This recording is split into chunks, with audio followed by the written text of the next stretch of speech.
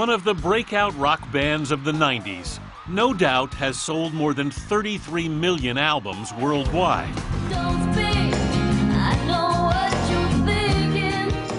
But after ruling the charts with monster hits like Don't Speak and It's My Life,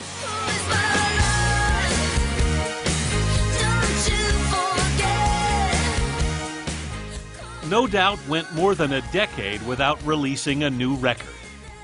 Now, the band is back.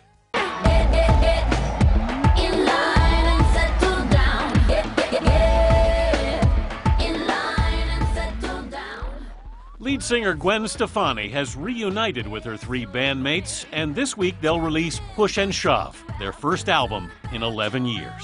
The boys rehearse way more than me because I kind of feel like I'll just wing it. Mm-hmm. I have so many things going on.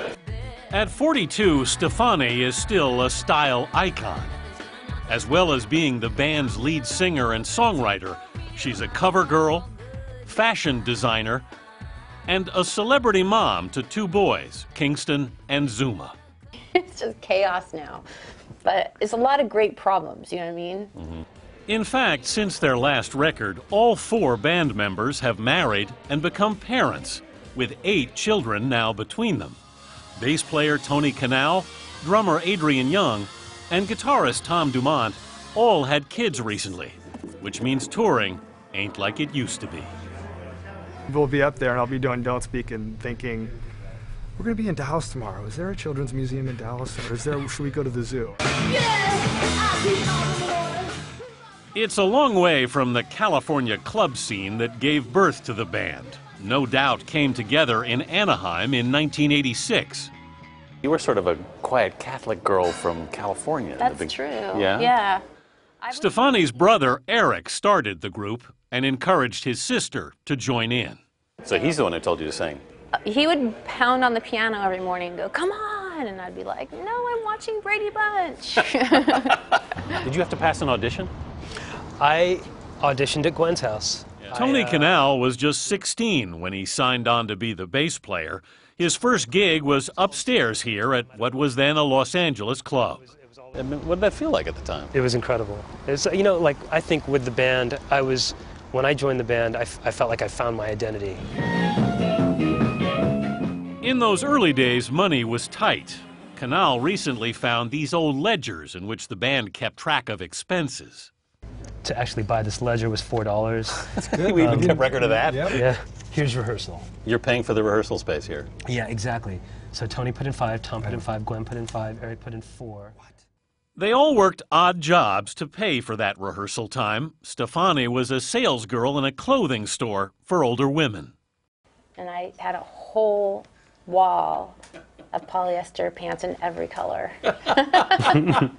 Pull-ons. but I could make some pretty cute outfits for them and they were so grateful and I loved that. Think about how that was like the training ground for er, like think about how much experience you got from the polyester pants and then the makeup counter. You know what I mean? Like it all it all really, it all contributed it did, to where, where you are it now. It did. It did. It's so crazy to think about that. Yeah. Kanal and Stefani became a couple. They date for seven years. It was their split in 1994 that changed everything for the band.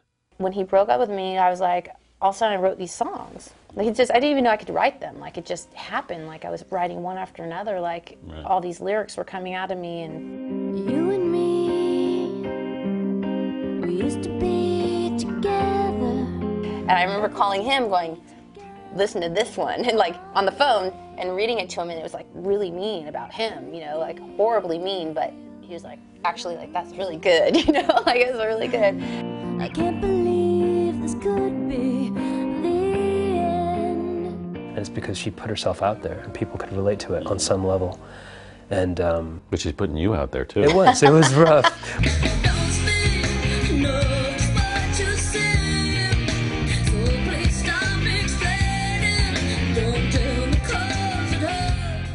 Don't Speak, the song about their breakup, would spend 16 weeks atop the radio airplay charts and hit number one in 20 countries. So you had to relive this thing over and we over again. We were opening this wound next to each other constantly How do you deal with that? You would go back to the room so emotionally, physically, spiritually, like everything was drained. It was brutal. I, I you know, I look back on it now, but we got through it.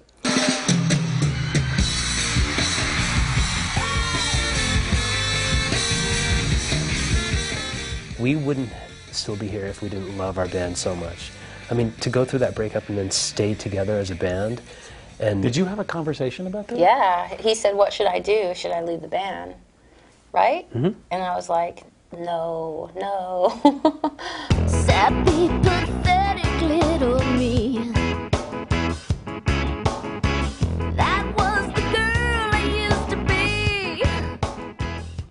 record Tragic Kingdom would become one of the landmark albums of the decade, selling 16 million copies.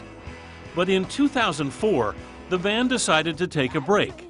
Kanal and Dumont would make music with other artists.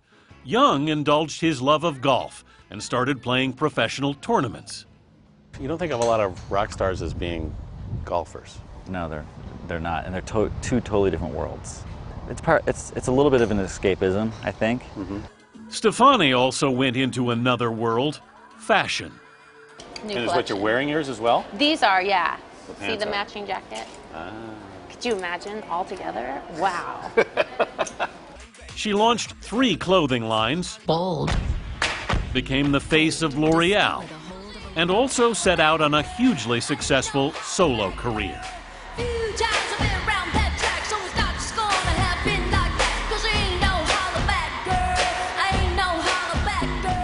Have all these different identities.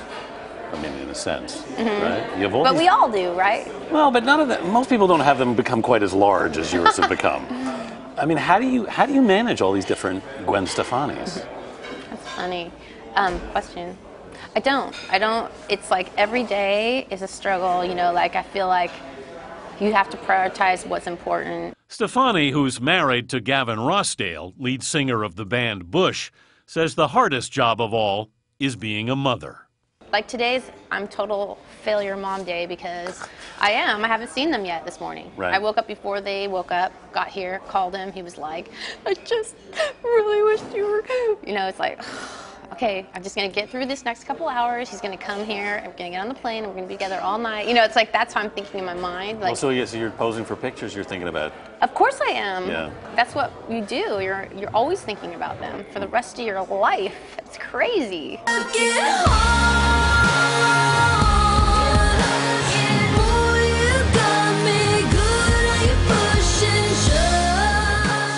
This past week, Stefani and the band were getting ready for their new tour. They may all have children now, but no doubt is still a family of its own.